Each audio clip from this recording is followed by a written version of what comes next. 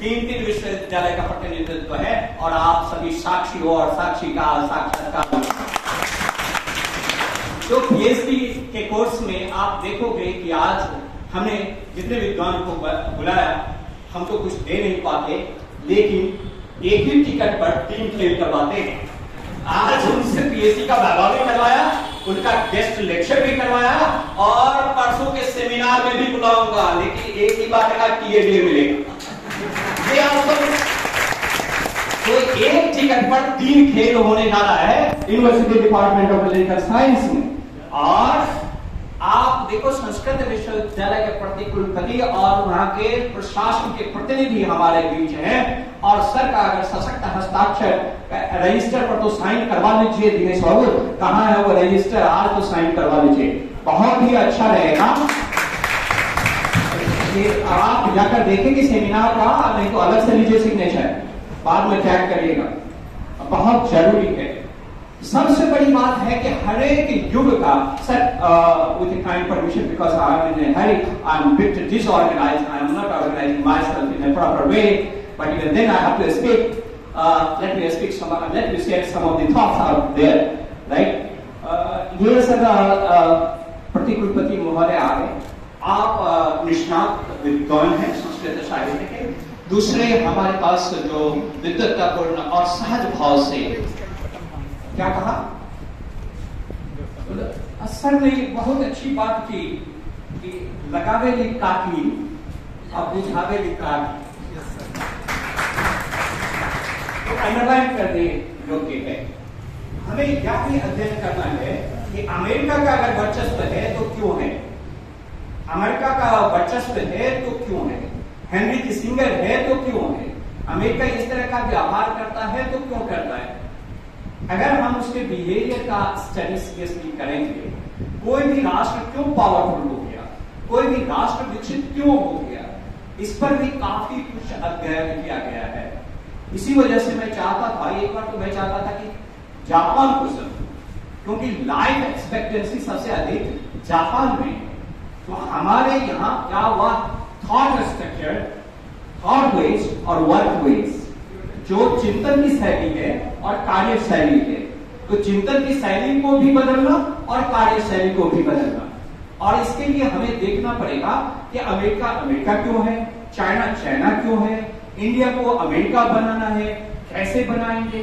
पूरी दुनिया मार्केट पर है, एडम स्मिथ से लेकर के अभी तक। और बाज़ार हमारे घर के छप्पर पर पहुँच गया है और इस बाजारवाद के जमाने में बाज़ार पर आधिपत्य जो करेगा, वही दुनिया पर राज करेगा।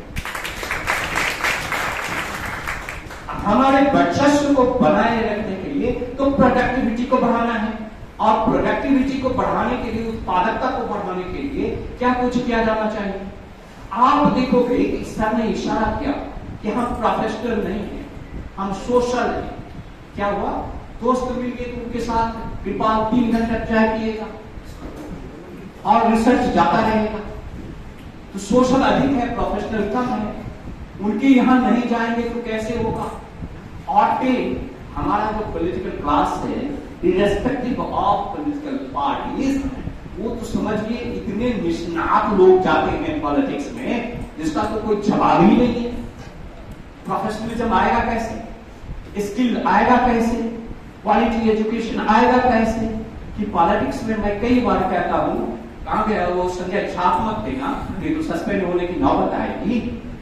जो कुछ नहीं कर सकता, जो पढ़ाई के दिन में टॉपर नहीं है, जो बर्मा संजय से नहीं स्कूलिंग हुई एक्सेलेंस नहीं है, कोई कॉम्पिटिशन फेस नहीं किया मेरिट पर कोई जॉब नहीं लिया कोई बिज़नेस नहीं किया, जो एग्रीकल्चर नहीं कर सकता है, सब के सब जो निष्णात विद्वान है, वो राजनीति में जा रहे है।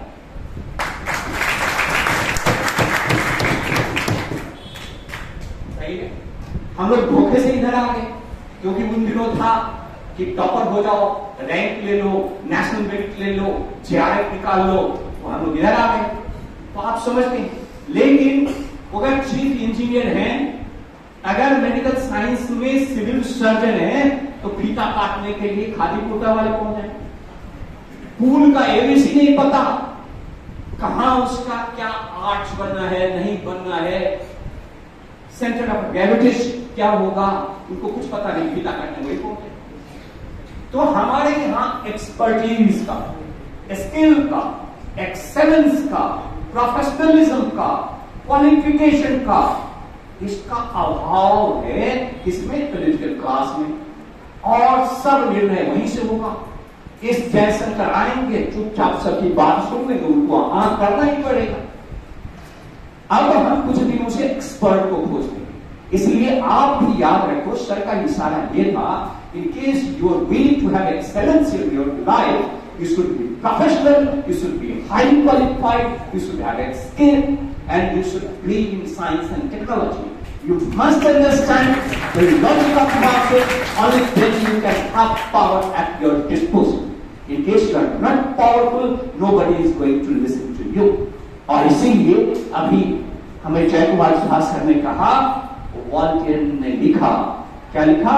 The first king was the fortunate warrior brave warrior इसलिए सर संस्कृत में कहते हैं वीर भोग्य वसुंधरा पृथ्वी पर वही राज्य करेगा जो might is right. Right it's a power relationship कोई कंफ्यूजन नहीं है।